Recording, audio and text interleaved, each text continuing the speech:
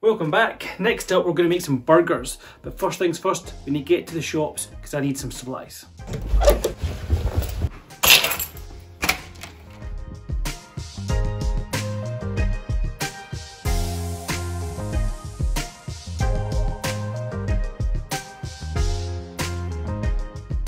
So to make our burgers I've got some ground minced beef, some parsley and onion, some gherkins, some capers, Colby mustard, Dijon mustard, some breadcrumbs and a little bit of milk. So the first thing we need to do is get this onion cooked and cooled down. While we're doing that, I'm going to get the mince back in the fridge to keep that cold.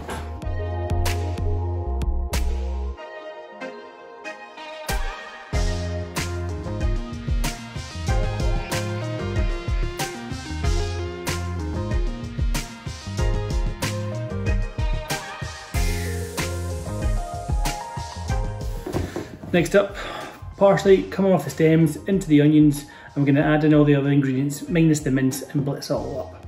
So now we're going to create basically a puree with the onions, the parsley, the mustards, uh, the capers and the gherkins and the breadcrumbs and the milk. We're doing that separately from the mince because the mince has already been minced.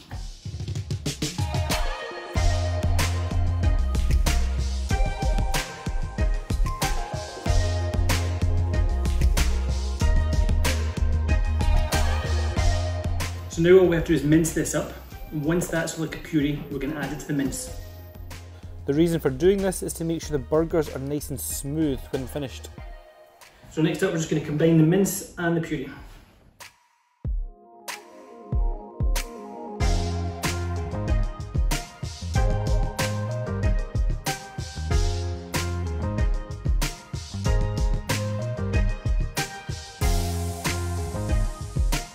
So I'm going to add a little oil to the pan, not a lot, and take a small, very, very small amount of the burger meat.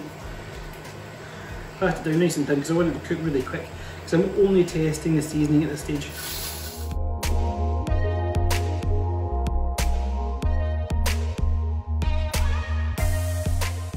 Once you're happy with the seasoning of your burger, you're ready to shape them. You should get 5 or 6 burgers out of this recipe easy. Just bear in mind, the thicker the burger, the longer it takes to cook. So to go with our burgers, we're going to make some potato wedges. Uh, rule of thumb, one decent sized potato per person, and then a couple extra. So I've got five people and two extra potatoes. A decent sized potato for me would be just over the size of a tennis ball.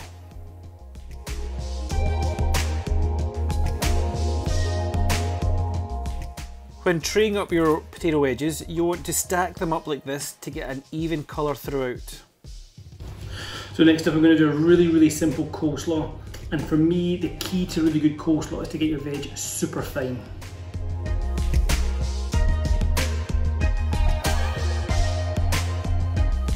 So all the veg has been finely shredded. I've added the zest of one lemon. Now I'm going to add in whole grain mustard, a little bit of salt, mayonnaise, and that's a coleslaw done.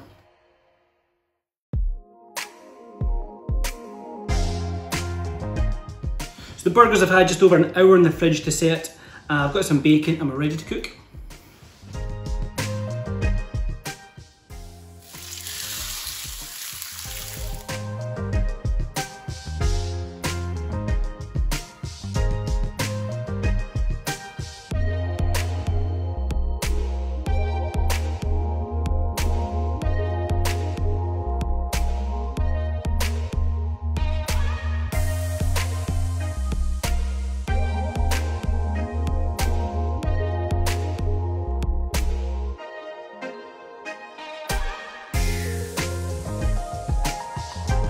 If you like those burgers and you want to try making them at home, make sure you check out the description below for the full recipe and make sure you hit the like button and subscribe for more videos. See you in the next one.